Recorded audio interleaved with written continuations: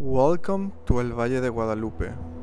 Last week we drove 30 minutes from Ensenada to El Valle de Guadalupe. Valle de Guadalupe has hundreds of different wineries and tasting rooms to choose from, so it would be impossible for us to visit everything during our short stay here. So what we're going to do is try and pick out the best of what there is to do here. We found a highly rated restaurant we're going to visit, a wine garden, and go on a wine tasting tour. So hopefully we can give you a good idea of what a visit to Valle de Guadalupe is like.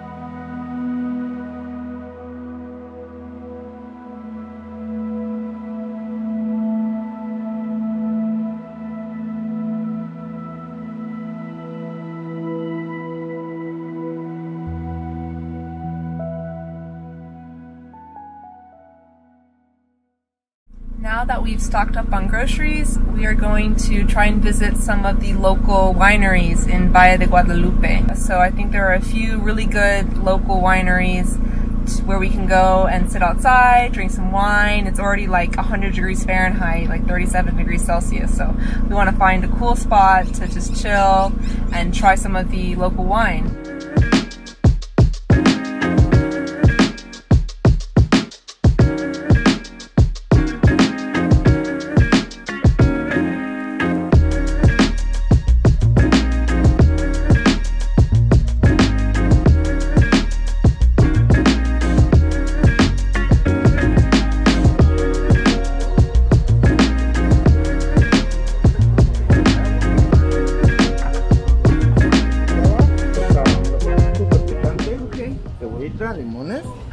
Capitán les va a servir los tacos de callo.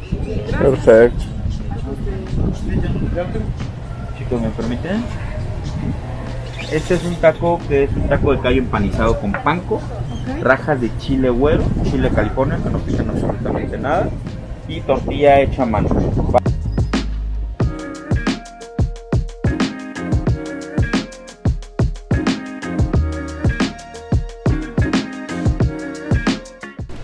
Are two places where you can try the wine at the Monte Xanic Vineyard. We originally recommended to go to the terraza to do a wine tasting, but they once we got to the vineyard, it, they told us that it was by reservation only, and they didn't have any space left for today. So the second option was to go to the restaurant by the lake, and so we that's where we decided to go. And I'm really happy that we came here because I, I like wine, but I like food more than alcohol.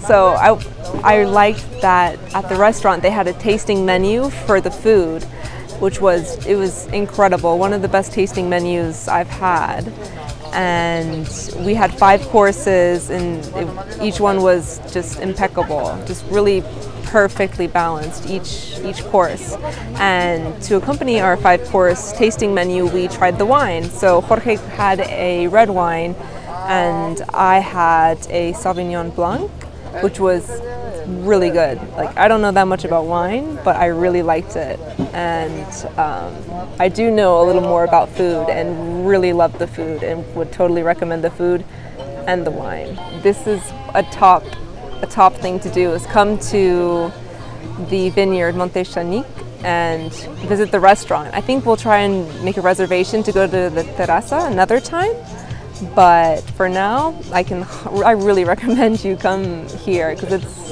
it's a beautiful experience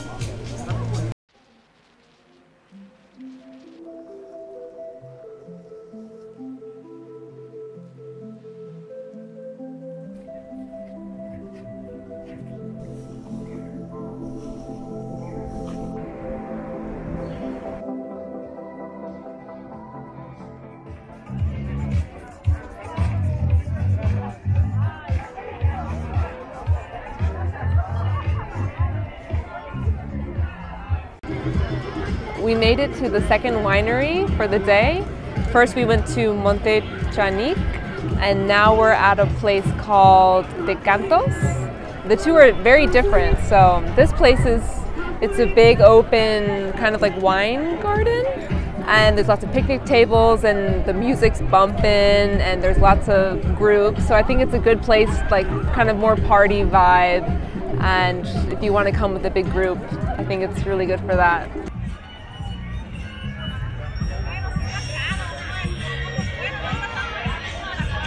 Have you tried it yet? Try it. Agua mineral, salud.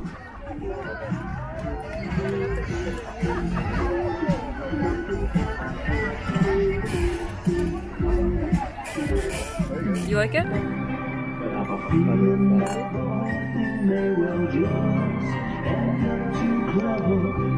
It's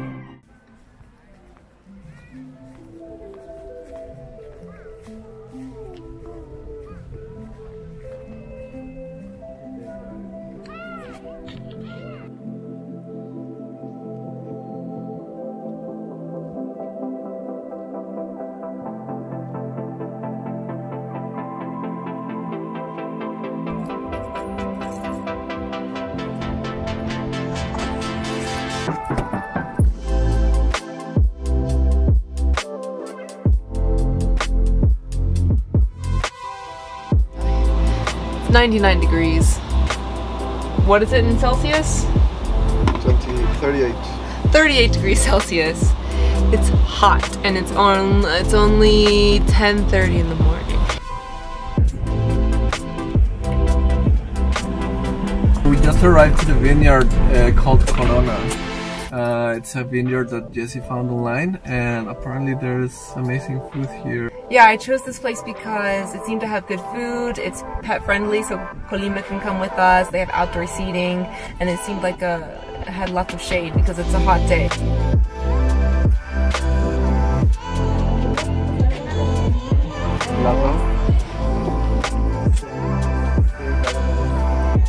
Salud. You're gonna like it. I love it. Yep. Yeah. What you got there? Um, food is pretty good, but what was really, really good was the wine. We decided to buy a bottle.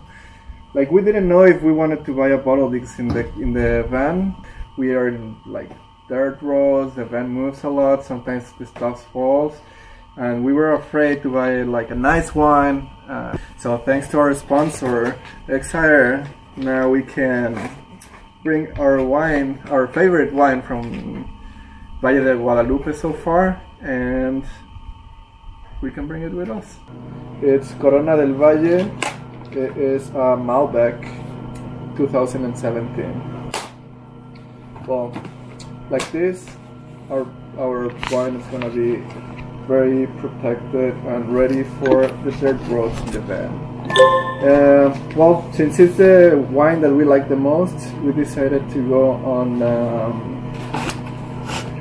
uh, on a tour with um, Corona del Valle on their storage, where they make the process and they're gonna explain to us a little bit about the, their brand, and also I think we're gonna have a tasting uh, straight from the barrels. Sounds interesting. Um, so see you later in the storage. I bet it's gonna be very fun. Muy buenas tardes, bienvenidos a Corona del Valle, mi nombre es Nancy. Eh, les platico un poquito sobre nuestra, nuestro viñedo, una- nuestro proceso de elaboración de, de vino.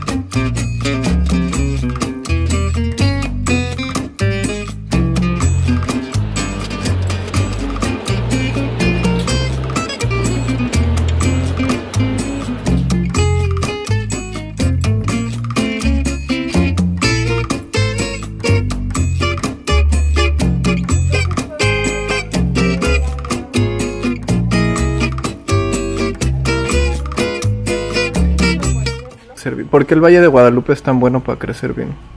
Mm, La ¿Por qué aquí? principal Ujú. es que se encuentra dentro de la franja del vino, que le llamamos. ¿no? El paralelo si no me equivoco, es el 31.8 en el que estamos. Y las condiciones climáticas son totalmente favorables para la producción de vino. Aquí en el Valle de Guadalupe está excelente. Esa es una condición climática y de suelo que les da a las plantas. Yes, we are very happy that we were able to make this video happen. It was a little hard for us to choose where to go because here in Valle de Guadalupe there are a lot of wineries. Um, well, I hope you guys enjoyed this video and we liked it so much that next week we're gonna stay in Valle de Guadalupe again and we're gonna show you amazing stuff about it. We have great stuff planned.